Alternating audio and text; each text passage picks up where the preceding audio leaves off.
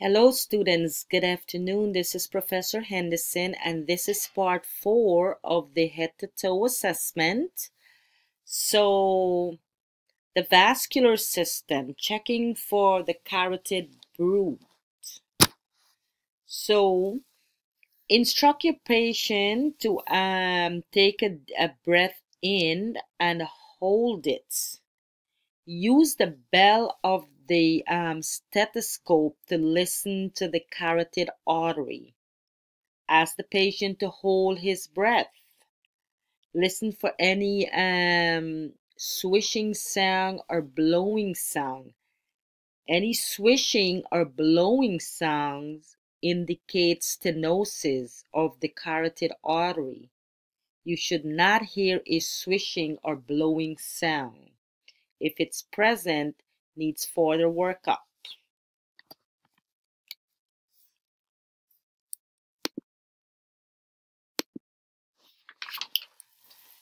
Checking the um, jug jugular vein. Place the patient at a 45 degree. Have the patient turn to the side. Look for any distension of the vein. They should, there should not be any distension no jugular vein distension. Assess it at a 45 degree. No pulsation should be noted. Measure the um, central venous pressure greater than 2.5 centimeter indicates fluid overload or heart failure.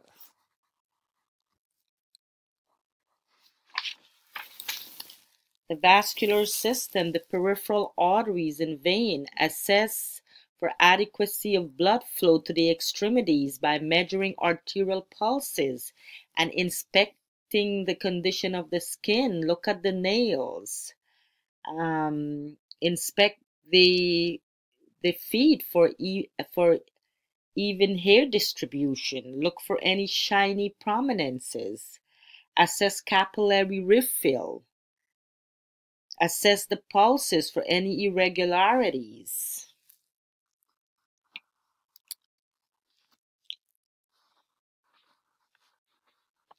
Assess each peripheral artery for elasticity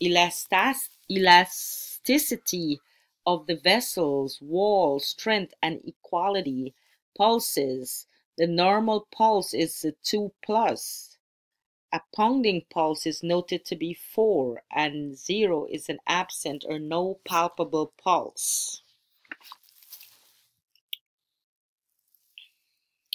Peripheral vein assess the brachial artery, assess the ra ra radial and the ulnar arteries of the forearm for pulses. Make sure you compare and contrast the pulses on both sides. The radial pulse is on the thumb side. The ulnar pulse is to the um, the pinky finger and the brachial pulse is the inside of the antecubital space. Mm. Peripheral arteries. Assess the femoral artery.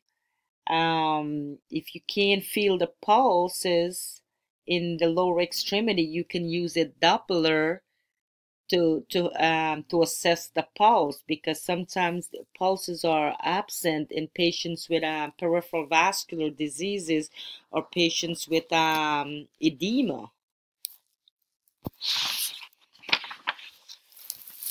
The um, the pop the dorsalis pedis pulse and the um, the femoral the fem femoral pulse Assess these pulses for strength and equality. Are they regular? Are they irregular?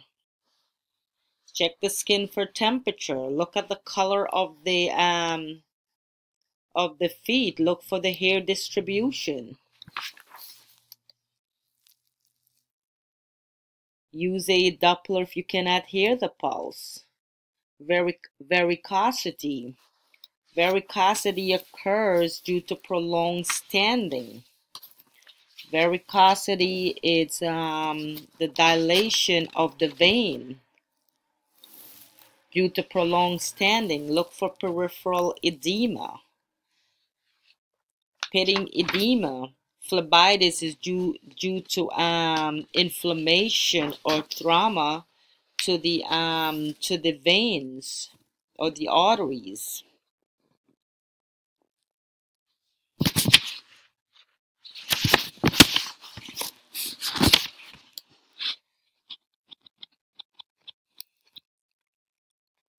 Palpate the epicondyle nodes located in the medial aspect of the arm.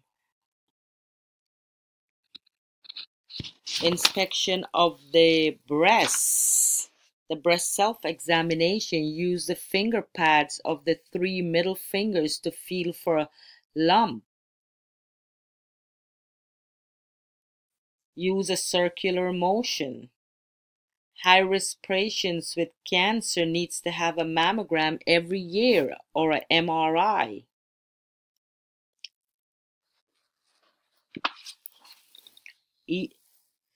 Every breast cancer detection recommendation monitor breast self-examination for women in the 20s and 30s. Patients that are high risk that have a family history needs to be monitored closely. Examine the right breast. Lie down on your back and place your right arm behind your head. Use the finger pads and the middle fingers of the left hand to feel for lumps and nodules. Move around the breast up and down. Repeat self-examination in the left breast. Observe breast in the mirror with hands pressing firmly on the hips.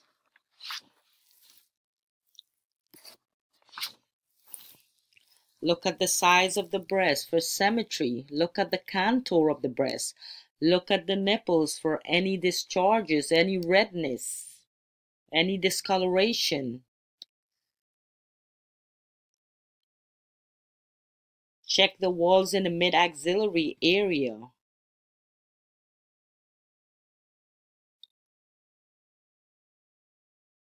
Patient should be lying down. Place a pillow or a towel under the patient's shoulder blades to, to further the position breast tissue. Palpate tail of the Spence. Abdominal assessment.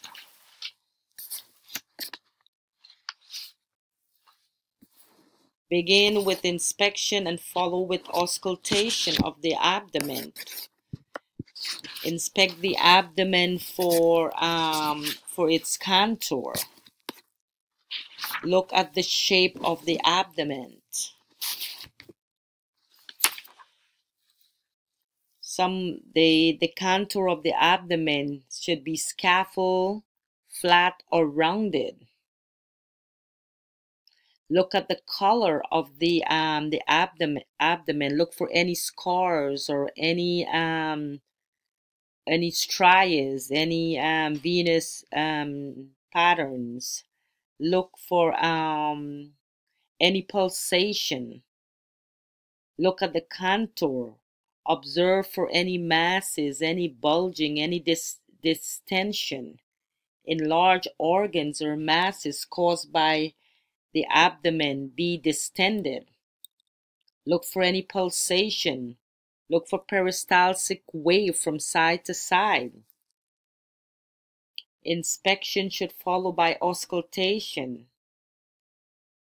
Then palpation, light palpation. Light palpation is about 2 centimeters. Deep palpation is about 4 to 5 centimeters. Listening each quadrant starting with the right quadrant, working in a clockwise manner.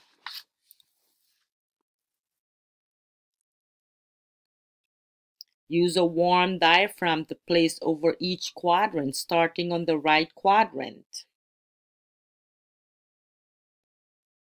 Listen for a hyperactive bowel sound which will indicate GI motility, such as gas and diarrhea. Listen for hypoactive vowel sound, which are signs due to um, gastric emptying. Listen for a bruit.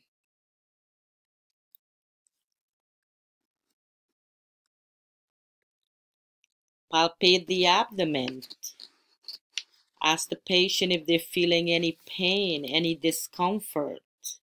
Do not palpate an um, abdomen that there are distension or suspected um, peritonitis or Wilms tumor. It's contraindicated to palpate the abdomen if you suspect Wilms tumor or peritonitis.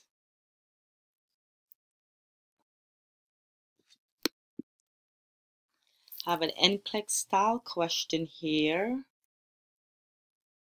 When conducting an abdominal assessment, the first skill a nurse puts to use is the answer is inspection. We always start with inspection of the abdomen. Looking at the color, looking at the contour of the abdomen.